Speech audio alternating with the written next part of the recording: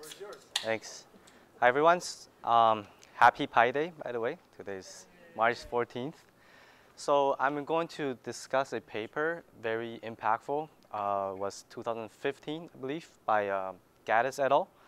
And uh, will be facilitated by Felipe and Xian. So the idea is very simple. Um, the author, they try to combine a photo and then an artistic image. And then they were able to transfer the artistic image uh, onto the photo. And it was a very impactful paper because a lot of the a lot of follow-up papers um, uh, follow through this one and then all talk about style transfer. And this paper was very important because there was some um, motivation behind this that the author discussed. At that time, AI was deep learning was kind of like you know was going at a hyper growth rate, uh, but then it was mostly on supervised learning. So the author was had a few questions like why humans were so great good at creating arts, but then there's no you know computer system that can allow us to do, to do this. At the time, there was some you know like maybe some filter based, a um, couple other some um, trying to do some um, arts, but then there were the result like they're not very natural, and so we don't really understand how humans are able to process arts, create arts. So he wanted to figure out like, is there a mathematical or algorithmic way that we can represent arts? Okay, so try to understand how the human brains work in another, in another way.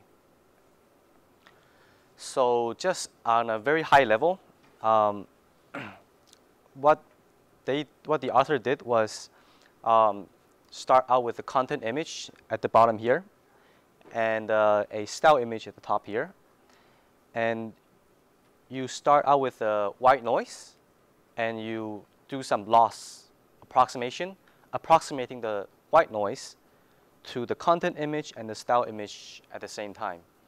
And then I'll talk in detail like the, you know, how it works, all it works here.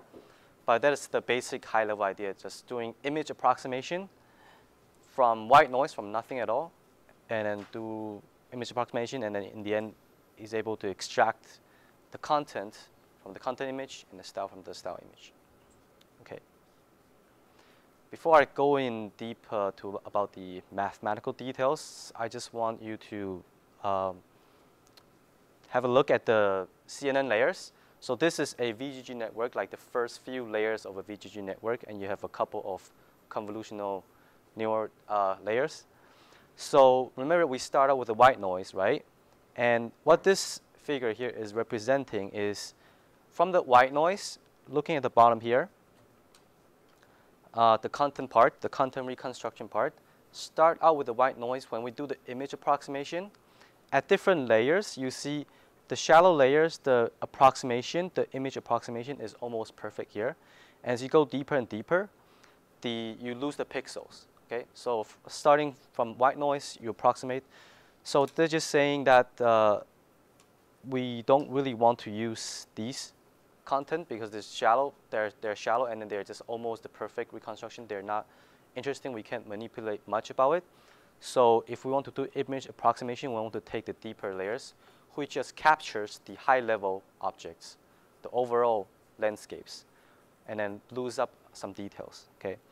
So the same thing with the style reconstruction. So starting off from white noise, as we go deeper and deeper, uh, the shallow layer has just very small bits, like a lot of noises.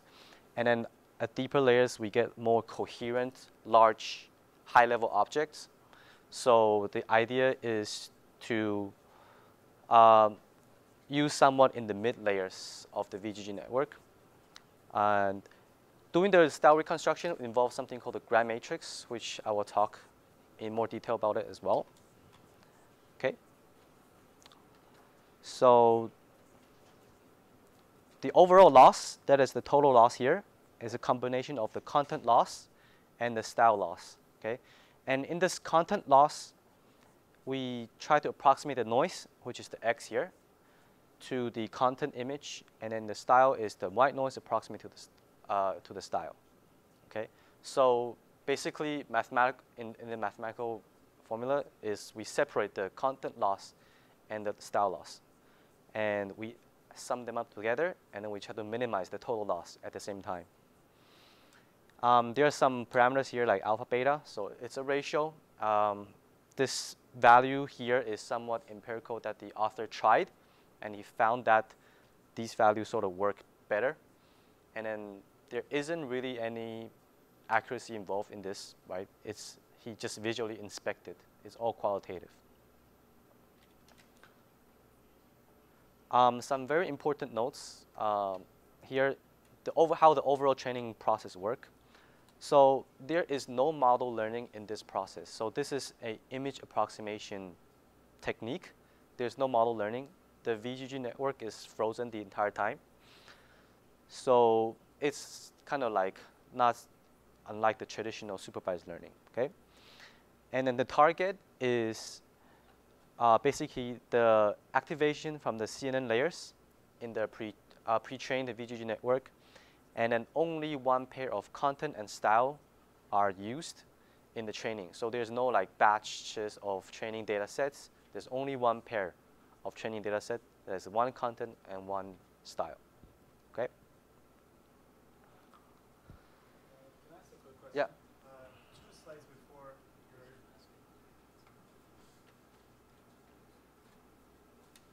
Ah, Sorry for the delay. Okay. Uh, yeah. So those uh, vectors, cx and an sx, um, did you mention are they relevant to a specific layer? Uh, so it, they are relevant to a specific layer, and maybe this question doesn't capture it. So yeah, so maybe there should be a L here.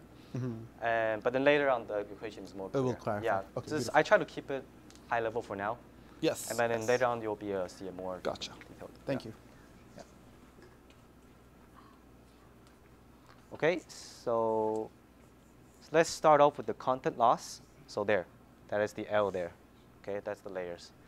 So IJK is the index of height, width, and channel. Okay, and then L is a specific layer in the VGG network. And here, the author used the mid layer because there's something by approximating to that mid layer, um, he was able to learn something more interesting. And again, we start with a white noise, and we try to approximate this to the target content, which is the output from the mid, uh, uh, mid VGG network. Okay, and here is the kind of like a pictorial illustration. Basically, it's very simple. We compare the, oh no, what happened there? Wait, where's Victor? Victor, what's happening? So uh, enjoy, enjoy the view. Yeah. So, uh, this is called switch the camera to you. Say something. Oh. Yeah, enjoy the view meanwhile. Enjoy the view. You can move the camera and you can see No, the no, nice don't view. move it.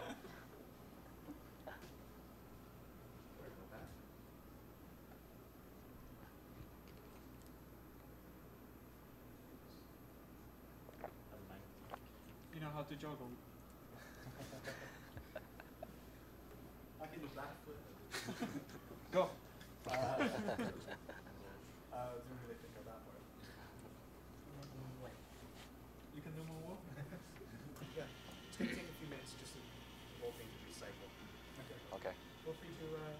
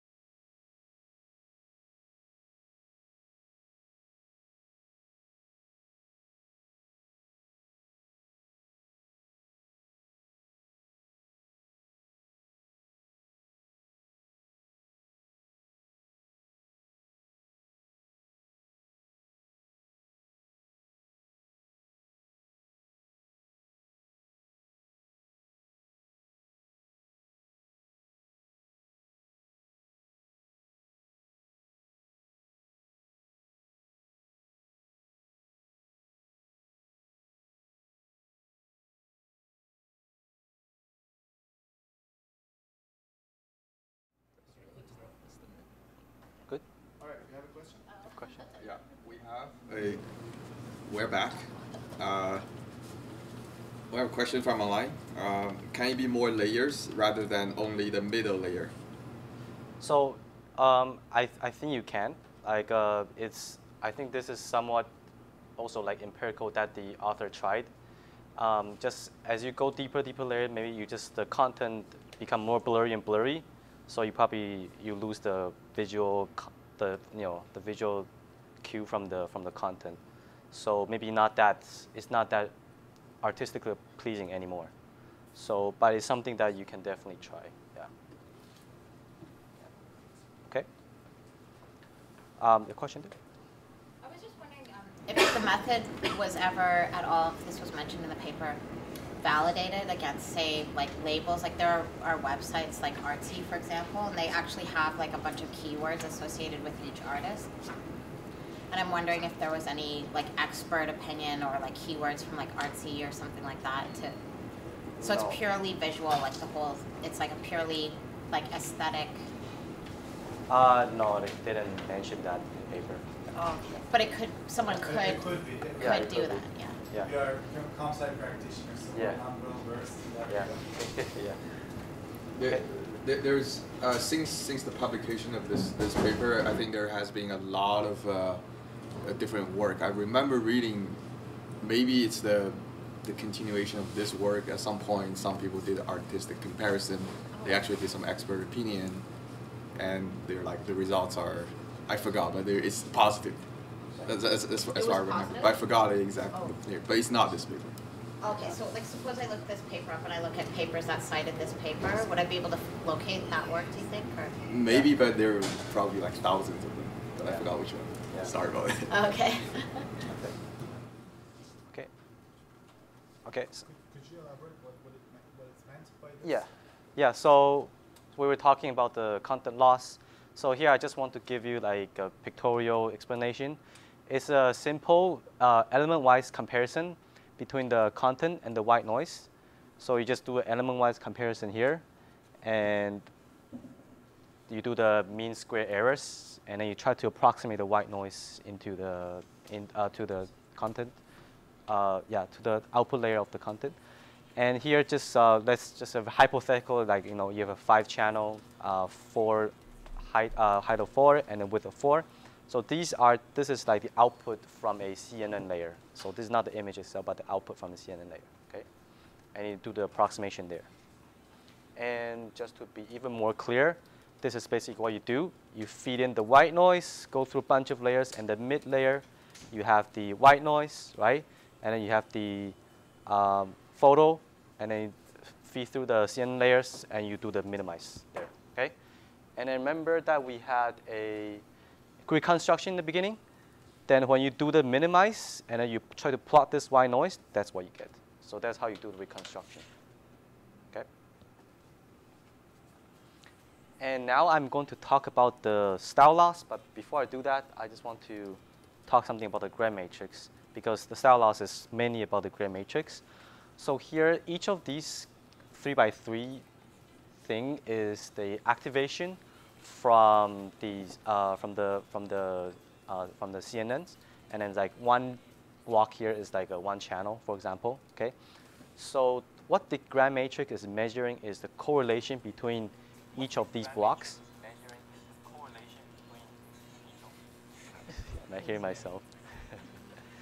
okay, so for example, if I compare these two blocks here, okay, highlighted in blue, uh, going across, you know, these blocks here, I see the orange color and this uh, kind of edge-shaped color. They are co-occurring throughout this matrix, uh, the two here, right? So that is what the Gram matrix is measuring, is measuring the co-occurrence from the channels, okay? So one channel will output the orange, one channel output this pattern, and then these two things are co-occurring. And then the Gram matrix will measure this as a high, highly correlated or poorly correlated, right? So that is essentially what the Gram matrix is measuring. And now let's look at the equation for the style loss. So here is the Gram matrix of the white noise, Gram matrix of the target style, okay? And there's output from a G, uh, certain layer in the VGG network, okay? And these are the activation of the white noise, uh, sorry, activation from the style, okay? And then you compute the Gram matrix and you minimize the both. Um, there's just a normalizing constant, okay? And then again, you do the mean square, mean square error, okay? So, and then these uh, IJK are, okay, so uh, the ij here means the same thing, and then k here means again means the channel. So you're comparing channel to channel. Okay. So I here I have a little bit of animation to make it more clear. So let's take the style image, okay, and then you go through the CNN layers, right? Then you have the output from the CNN layers, and you get these like channel five, width four, height four, okay. Then the Gram matrix. This is how the Gram matrix is calculating. We take the first channel here in the yellow, and then compare it to itself. So first, first channel compared to first channel. Then you do, again, you do element-wise comparison, going through the elements, and then you calculate a correlation, and let's say it's a very high correlation, it's like 0.89, okay? Then you fill into the Gram matrix. The first block is the, the first cell is the 0.89. And the Gram matrix is, because it's comparing channel to channel, so it's a matrix that is uh, channel by channel. So we have channel five here, so it's five by five. Okay, so that's the first cell. Yeah, question? Why isn't the correlation with self one? Yeah, good question. So Can you repeat the question? yeah, so the question is why isn't the correlation with itself one? So actually this is like not really correct to be, to, to be honest, but I was just trying to make it easier to explain. So the correlation with self is one, but when you're comparing with it with, yourself, it's actually just the magnitude. So if you look at here, if you look at this diagonal here, these are actually just the activations from the channels. So when you're comparing to itself, you're just saying which channels are mostly are the most active. Okay, so here you're only getting the you're only getting the the magnitude. You know, there's no correlation. There's like because it's one, right? Okay, so if we keep going, the first channel compared the second channel, so yellow with blue blue here. So I'm just taking it out, and then again you do the element comparison. You get a correlation. Let's say it's like poorly correlated. Then you fill in. Okay. Then you just keep doing this. And you just keep doing this, and then you complete your Gram matrix. Okay. So that's what it's measuring correlation between the channels.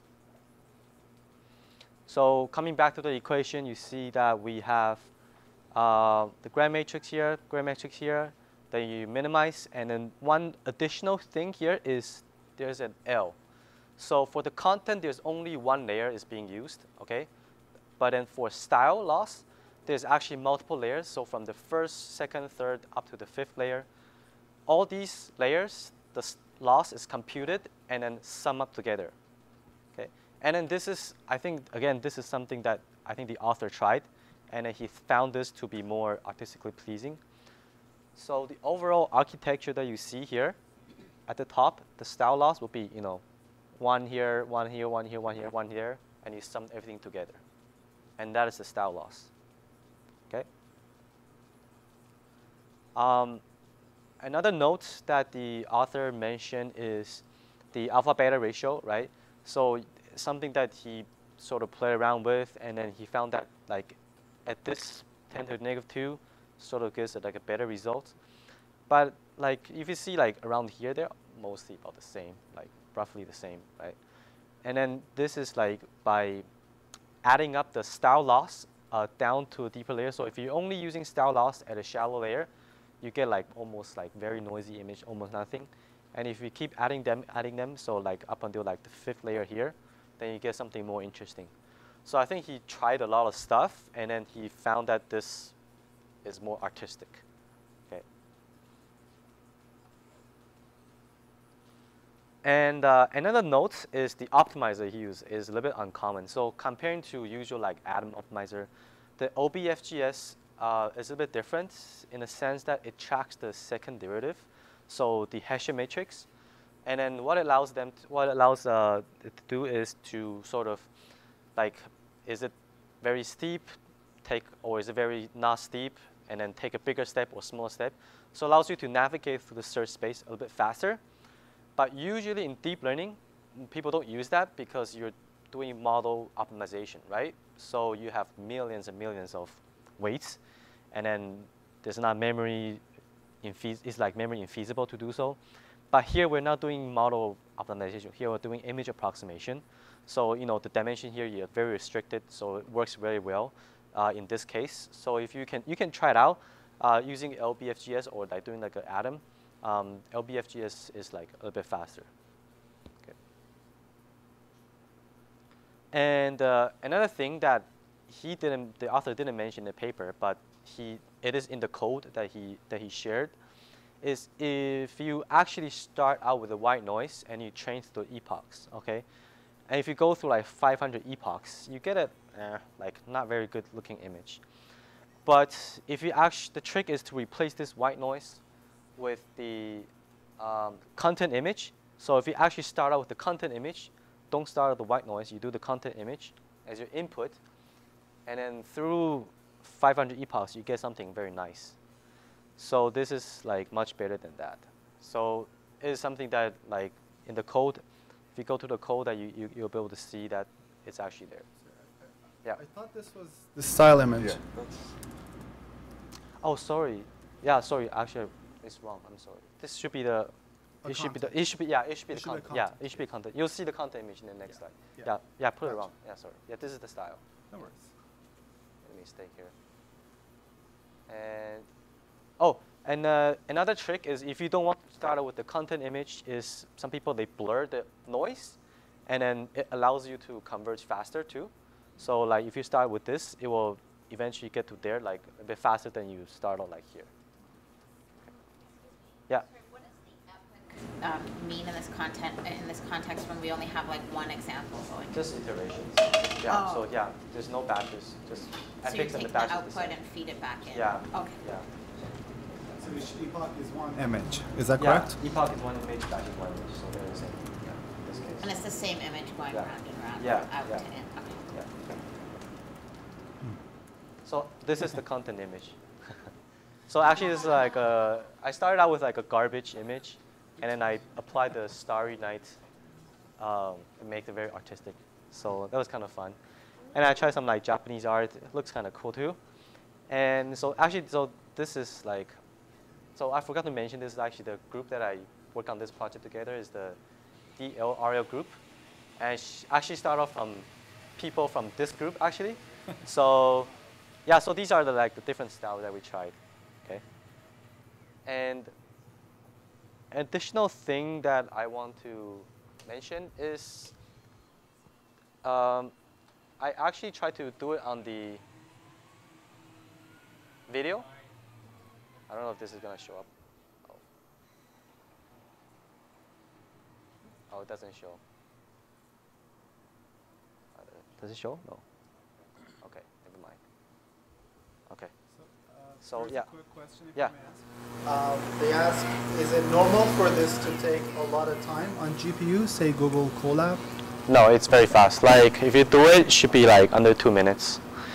For depending on your image size, like if it's smaller, like two, yeah, like uh, less than five twelve, should take few minutes at most. Yeah. Does it work? No, it doesn't work. Okay. But the thing is, I wanted to show is I try to apply this on videos, and it shows some nice results. But then there is a problem is the each frame has a flickering results because each frame has a different styles than the previous frame, and then it creates some kind of noise in the background, and then that is something that a lot of papers were trying to optimize on. Yeah, and then that spurred another trend that a bunch of papers came out from this. question. Yeah. Um, is it normal for this to take a lot of time on GPU? Does- or- He- he already asked. He just Yeah. asked them. What's that? He just asked them. Oh, sorry. sorry. So, but, but I asked the next one. So there is another question saying if the order uh, is a matter, is there a way to show which order can dominate the final picture? It's a question from online. If the order, Yeah, I think they. Uh, Order. I'm not sure what uh, What what, they mean order they mean. yeah, I don't. If they can clarify what they mean. Order. Yeah, please clarify what you mean by order. Yeah. Uh, cat and Tam. Thank you. Sorry. Okay. And so in summary, like the main contribution from this paper is that uh, the author discovered a way to separate the content and the style mathematically. It is the very first paper that's actually able to do that. And so in the past, there was always some like the arts transfer was usually like not very well defined, but in this one is like a very clear visual cue that the art is definitely transferred onto the photo. And yeah, and then a lot of hand-based, handcrafted based techniques in the past as well. And this is uh, actually the first paper that does not need a ground truth. So what I mean by ground truth, you don't need a ground truth of content and style mixed, and you try to approximate that, like that's like supervised learning. But you can separate the both, separate the two, and then train train it that way. So this is the main contribution from this uh, from this paper. And break. Yeah, great.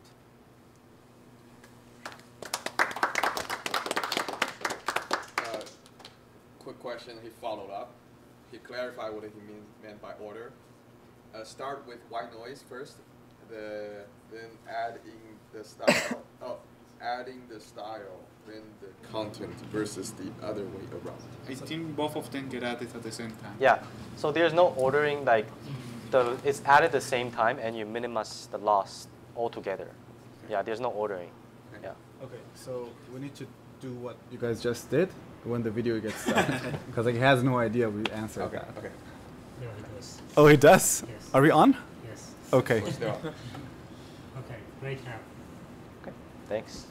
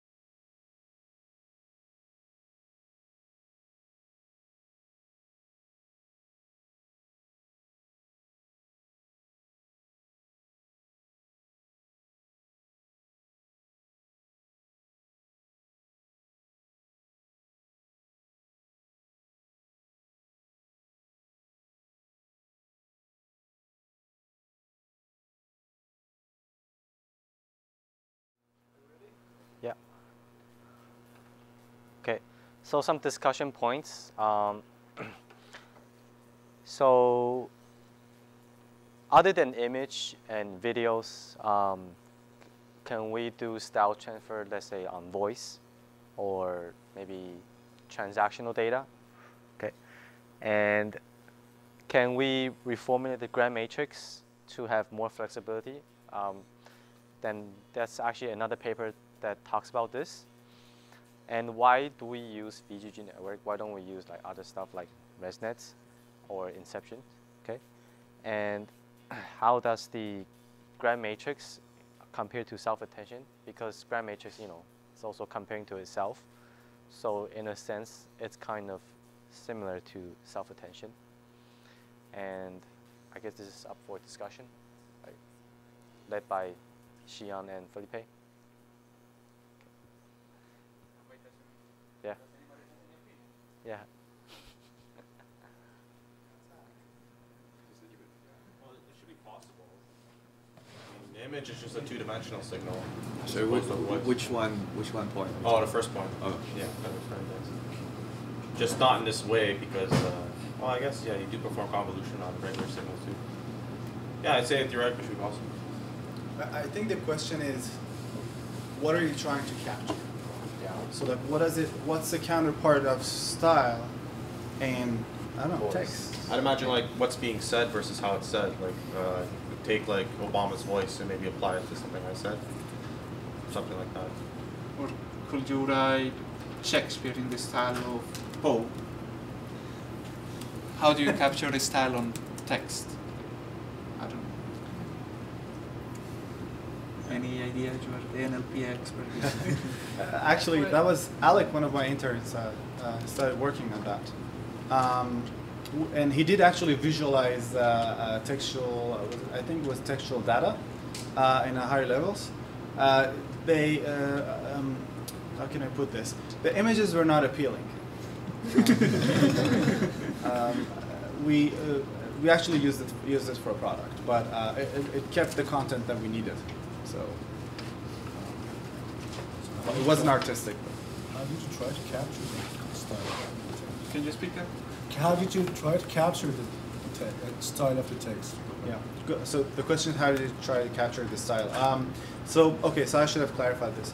Uh, we, we were basically using uh, CNNs um, to uh, and capturing the higher level uh, sort of feature space of the data. So we, we didn't entirely actually transfer any style. Yeah. Yeah. So we use CNN for non-image data, but we didn't actually transfer any style. Thanks for the uh, question.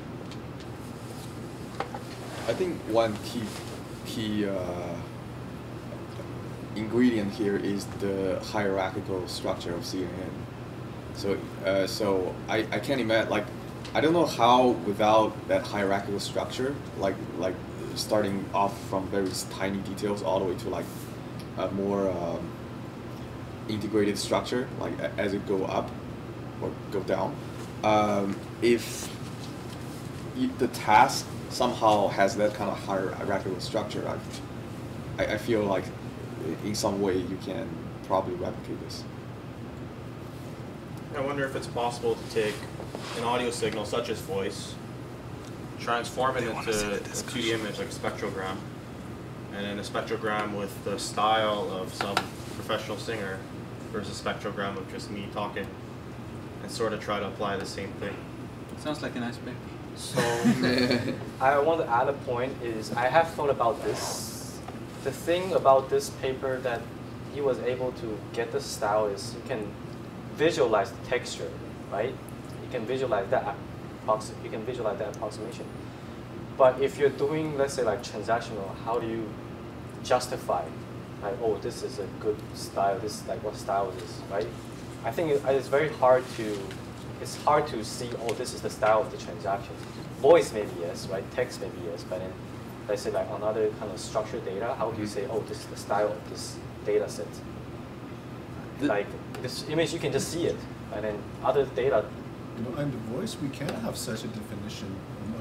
My is that, but on transaction, you're right, we cannot somehow connect the different transactions. It's possible that that it's hard that we connect different type of transaction into one main idea. But for example, in voice, as people But is, mentioned, is it that hard? Like think all- all of us do transactions in a really specific way. Mm. Like when you go to grocery store, you buy in a really particular way. That's your style. so the Yeah. pattern of your shopping Yeah, the behavior is kind right? Yeah. The- So the, the idea is that we can cluster people according to their buying habits. Is that the idea? the, um, So we cannot call it style. You're just class, clustering different people according to their patterns. It's not style, is it? What is style? Yeah, that is Let's the see, thing. What the style? let's- Yeah, let's the- see. Um, that's the question. That is the question. What I- is the style I want to raise a point uh, which is also has has to do with the, with, the, with the last question, which is um, from some other review papers. Actually, they highlighted the limitation of, of style transfer uh, in the, the, the style transfer technique in this paper, which is it's um, is it is pretty much able um, more or less able to capture only local features. So if you think like if your transaction data has a, a some kind of long range dependency, can can it necessarily like capture like say you did something two like two years ago, now you uh, you did this thing again. Can you can capture this kind of pattern? Um, I doubt it.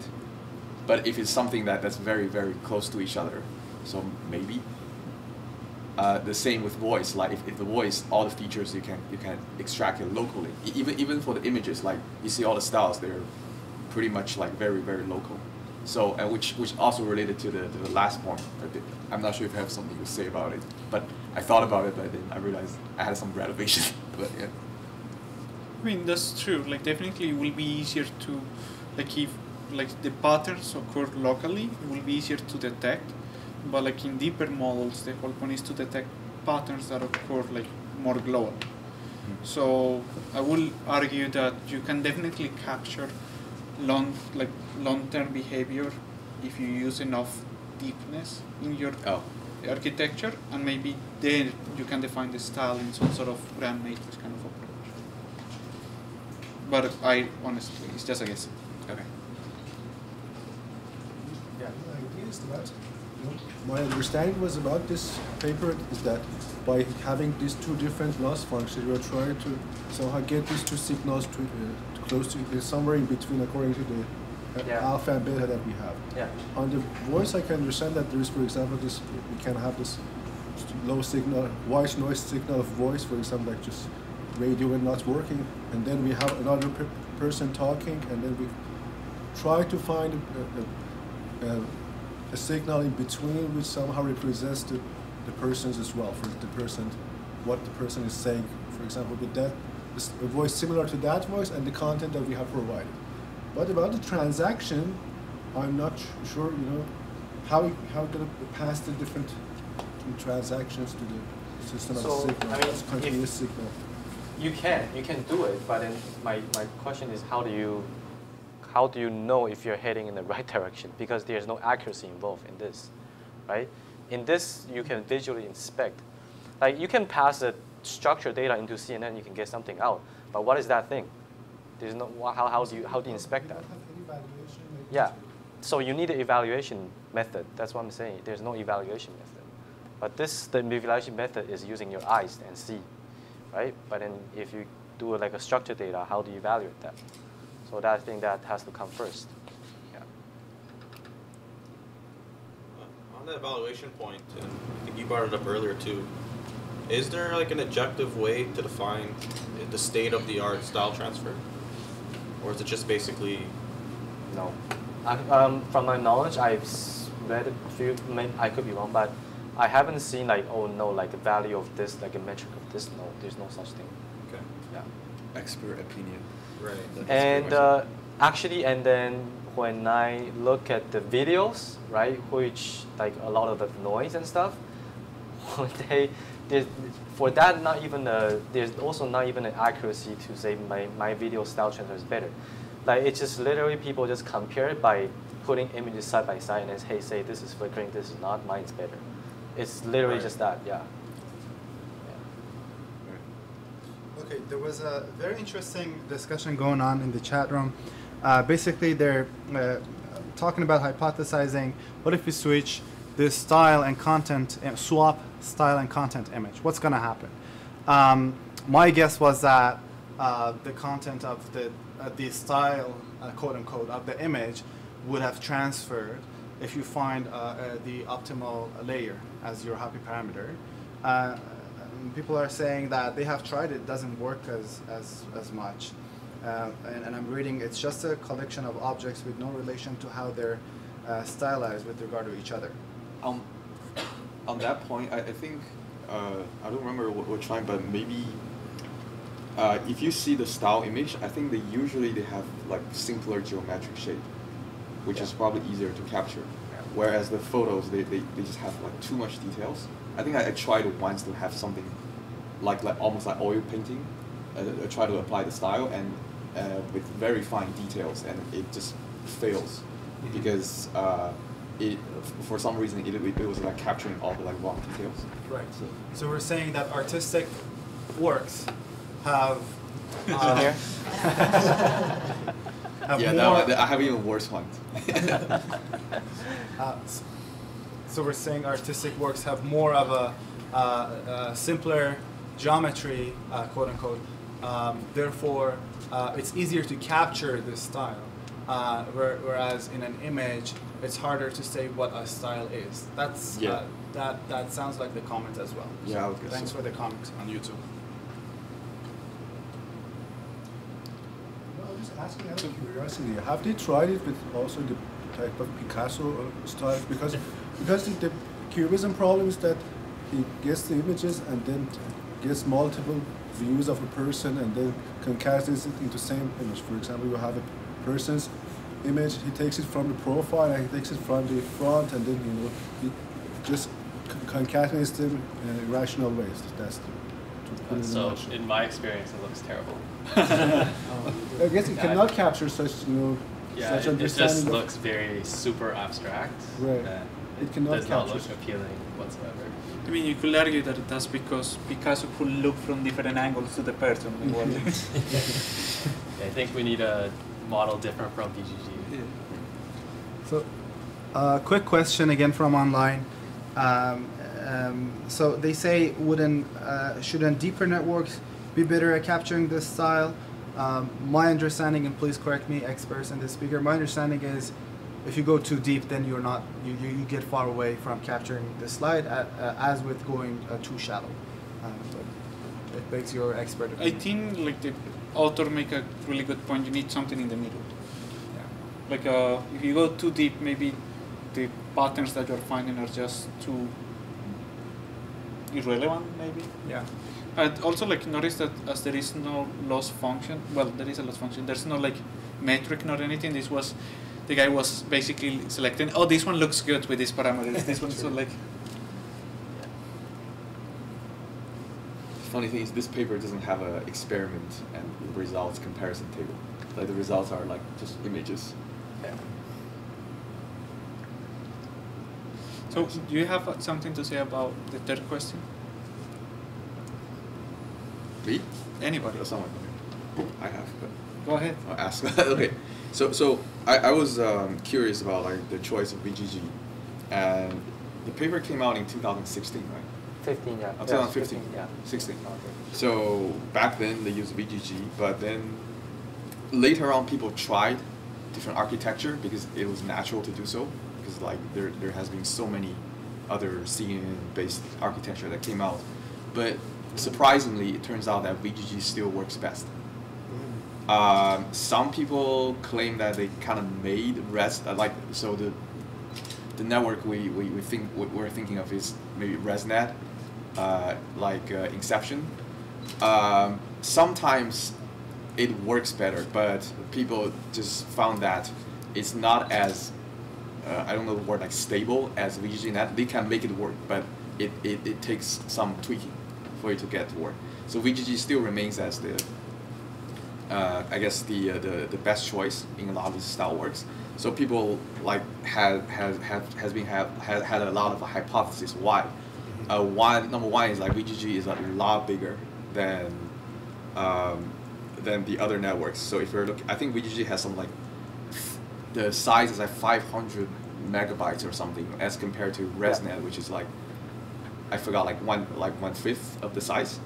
Um, so the like the number of parameters may be uh, because it, like because they have a lot of parameters, it tend to capture more information. Another hypothesis is that uh, VGG does not do aggressive downsampling. It is this like huge clumsy network that does like uh, downsampling very very nicely and smoothly. So that kind of act- architecture may be able to capture the um, uh, the, the fine grained style as opposed to other networks where you have probably skip connection. Uh, all the features gets for like for ResNet, all the features get scattered around everywhere. So it's not not evenly distributed. That's the other hypothesis. The third one is I think some people from Google they, they had a paper. They said that a lot of these networks tend to have like this checkerboard pattern, which might interfere with like capturing the features. I, I, I didn't read that paper carefully, but I think their argument is basically uh, VGG net tend to have less of that problem, so features can be captured better. So, um, can I add to that? I'm trying to understand also. So my my my most sort of uh, viable hypothesis was that if you use re- ResNet, you're uh, you have uh, um, you have a chance of sort of uh, leaking in information from previous layers. Therefore, your layer and the features aren't really representative of a higher level um, representation of the of the of the image, uh, but a mixture of, of the previous layers to some extent. Um, Yeah. So it may just not be as nicely hierarchical as VGG. mhm. Um, there is an online question if you don't have any uh, questions here. Uh, so they asked, what about um, using augmented vectors? Um, and and I asked them to clarify, and they were saying, uh, with regard to diffusing data and finding similarities to reduce noise slash loss on data topography. I don't understand. Um, so MM, uh, please elaborate further.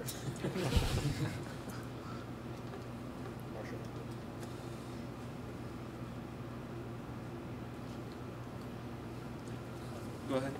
When uh, you're thinking about uh, like the success of uh, this model working on specific layers, like in terms of like higher order layers in a network, uh, is there any possibility that uh, you could somehow decompose like a style, like a collective style in an artwork by, let's say, only working on certain outputs of uh, like a specific layer, like uh, in the sense that like specific kernels are better at identifying certain features, like at a certain layer, that if you were to look at if you were to only look at a, like a subset of, uh, uh, let's say, the output of like a higher order convolutional layer, to see if you can kind of break down like there's this specific part of the style, and then you look at the other part and break down another part of the style. So I think that's Third captured slide. in channels, right? You Yeah, to yeah. the third slide. Third, third slide? Oh, it's not working. It's not.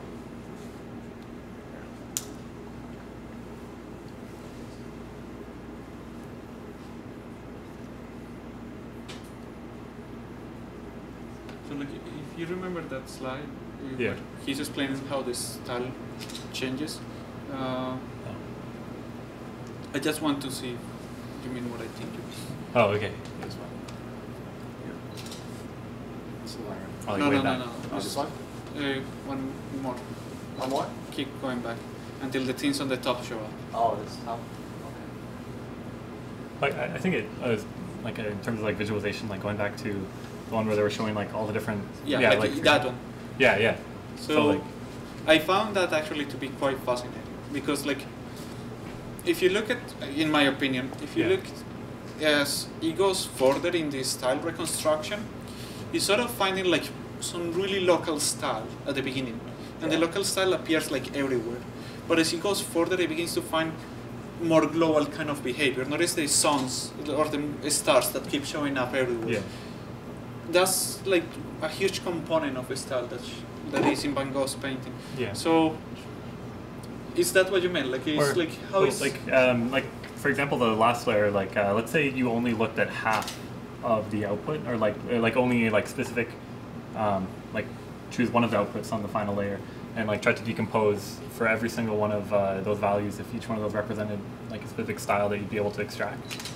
Like Um, that's a good question. Like trying to see like what each little piece of that image, what a style represents. yeah, what to kind of like decompose the style into like a Oh, smaller- oh, that's each, interesting. each channel. yeah. No, yeah, uh, it's more than each.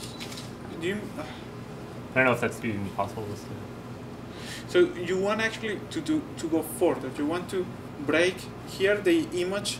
Uh, Here the game is I'm breaking an image into a style and content, but you want to go further and break the style into sub styles. yeah, yeah. I don't know. That could be quite interesting. Because then you can say like, oh, I don't want that much smooth lines. I want only like the sounds Yeah. or things like that. So I think you could play with associating weights, maybe modifying this by some weight matrix, and you could be able to do that. Like that, that's That'd be really. Like it will be really difficult as well Yeah. because you have too many parameters. But like, sounds fun. There was a there was a paper that we saw recently uh, that was not about a style transfer. Probably Esan can explain it better than I can because I was texting mostly when I was, I was listening to the talk. Uh, uh, but it was about using uh, an autoencoder type of uh, architecture, but then you could. Uh, you know the, the painting thing? Can you, Esan, talk about that? The, the talk that Brent gave recently at work? Yeah, I remember it it was wasn't about you know sub style, but it Mhm. was about It was like, different components in, in the image that you could change them and generate them. Right. Right. Uh, okay. Yeah. Yeah. I remember now. Um, so basically, it, it, it's a 2018 work. It's a recent work, um, and basically, it's model exploration and, and, and CNNs um, and visualization. Um, they had a few smart methods where you force uh, different uh, uh, depths of the layers, and you see what art artifacts it produces or it gets rid of. And the, the, pur- the purpose of the paper is for GANs uh, to generate, uh, when, when they generate images, uh, they need to be artifact free. And uh, the purpose of that paper was it, it, it, found um, uh, uh, components that would uh, create those artifacts and, and get rid of the artifacts um, that way. That, that's what I remember. Maybe we should present it here too. Yeah.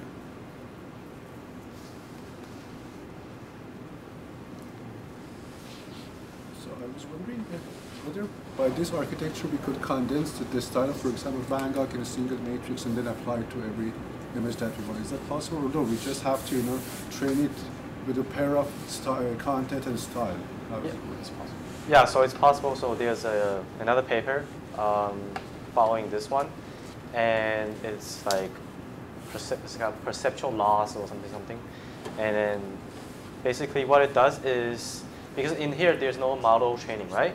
So what it does is, before you feed the image into the VGG, you have a model that is for training, and then you feed images to this model first, then to the VGG, then you train this model, and you train that through the you know the regular uh, supervised learning way, and you do the batch training, and then update this model. Then in the end, you get this model of Van Gogh style, for example. Yeah. Yeah, so uh, I was wondering if it would make sense to have an obvious extension of this method to uh, copy multiple styles. Speak up. Speak up, okay. Uh, what do you think of uh, copying multiple styles into an image, transferring multiple styles? Not just one, right? Um, yeah, it's something that I, I actually don't know. I I never thought of, but then Could you you, have could to. you please repeat the question? Yeah. So the question is, uh, is there, have anyone tried with transferring multiple styles? Like how would that work? Um, I think you can try it. So I would uh, maybe do the, when you're training the styles, then you will have, instead of having one style, you can try to put in two style images and try to train and see what you get. Um, I, I don't know what would the output of that would be, but um, I think it's something that's interesting to try. Yeah.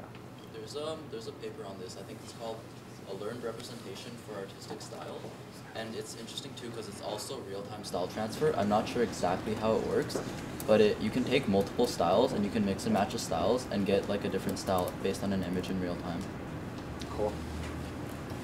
That's cool to know. So there is a question online. They say, um, is there a way to tell which layer um, is capturing uh, what feature when we apply the CNN?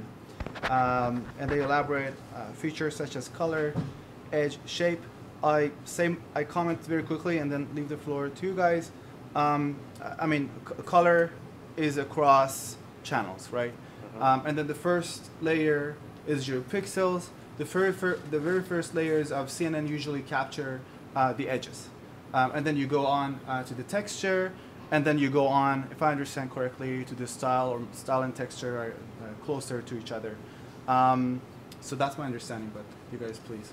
Yeah, that's basically right. But like, the problem is that they come as linear combinations.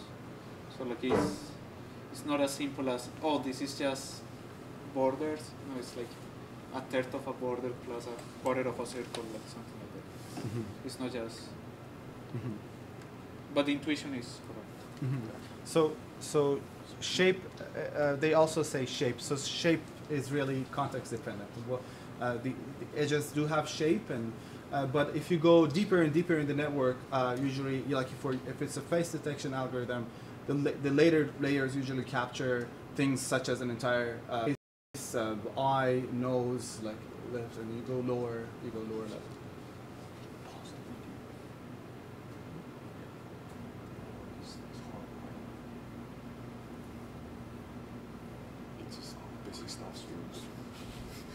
Okay. Did it fit the Um. Please leave a comment in the chat room if you have any difficulty hearing or uh, seeing us. For those on YouTube, thanks. question. No? I was previously I was I was reading an article. It was a, I was reading an article. It was about this uh, canonical uh, correlation analysis, which we have two views of the same phenomenon, and we try to find a, a view which is correlation of these two views. For example, imagine that we have a video, and then this video has sounds and it has images. So they are related to one phenomenon, which is the, the video, right? So they could come up with this uh, type of uh, middle ground view between these two by using the correlation and trying to fit the trying to get the correlation of these two views and using a type of neural network in order to maximize the correlation between these two views. The, the question is now I'm asking that have they tried to use such an architecture rather than just using a CNN? Uh, Have you seen such a thing using, for example, canonical correlation analysis type of things? Because you have in here they have these two views from t- two, one of them is context, the other one is the content, and they want to get a, a view which is in between of these two. I mean, somehow by the loss function. Have you seen such a thing, or do you know something? I'm just asking out of curiosity. It's not Okay. how like related specifically to this type of work. Okay, so the question is, uh, have I seen some way to, some other way to approximate the You're approximately between two views. two views, some other ways to approximate the two views? Yeah, that was applied to this same task. to the to the style transfer task? Um, no, for me, I haven't seen, but I think there are many ways that you can um, actually. So no, so actually, I'm, so there is another paper called the demystifying uh, the neural style transfer. So that actually that actually is another way to do the same job, and then I think they were able to completely reformulate the math, and then another way to, to achieve almost the same results. Yeah. But I don't know the details of that paper. Um, I haven't read it yet. Yeah. So but I think a lot of people try different things. Um, I have not seen them all. Yeah. Yeah.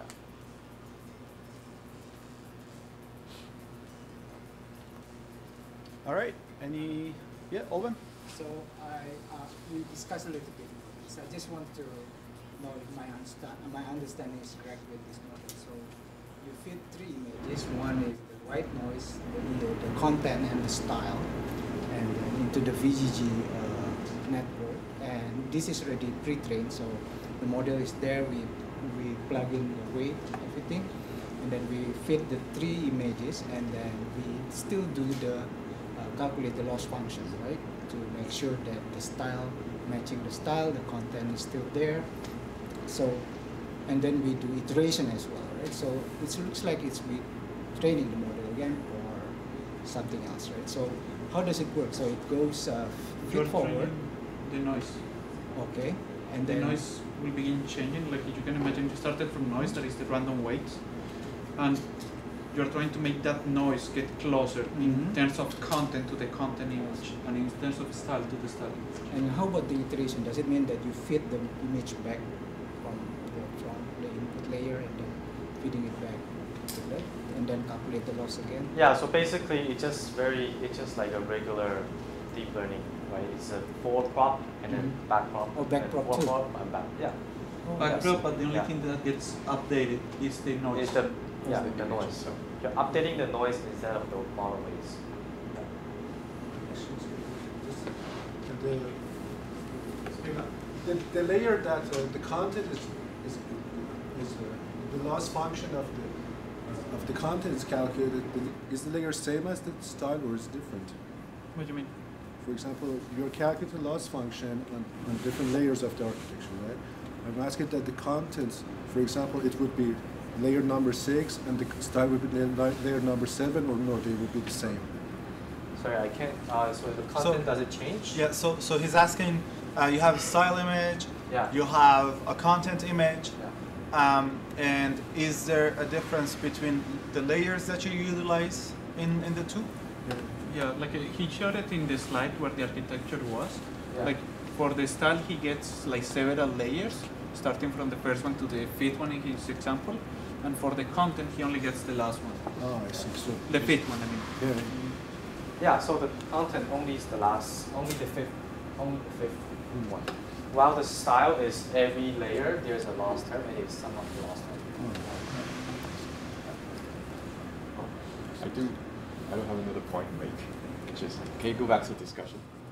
Yeah. Uh, which is kind of like a. So the, the, the, the relationship between self attention and um, doing this gram matrix. Um, one thing, like ceramic, like we can discuss this. Like I realized that is that I think we, we mentioned this this before. Uh, self attention is capable of, of creating shortcuts between a very long range long range dependencies. So that that's why you you do um, that's a why people like like like apply self attention. Um, but gram matrix, what I realized it, is that it's actually doing this on the channels. But when you're doing channels, channel is sort of like a uh, what is the right word? The the the it's not an average. It's sort of like the characteristic of, of this entire image. It has some kind of so it's capturing the entire image as uh, so so so gram matrix does not, not does not have like spatial or like local uh, awareness. So uh, I think that's one difference between gram matrix and self attention. So because of that, I think it has a less of a capacity to to to to capture long range dependencies. I think that's that could be one of the differences. I think you're right. Okay. So I think a more basic question in there is, what is a long distance dependency in an image? Um, Two points really. Yeah, two- Different corners. Two points in Euclidean space that's kind of far from each other. so in what way are they dependent? I'd say. Say, if there's an image like left left arm, right arm, they're kind of very far away from each other.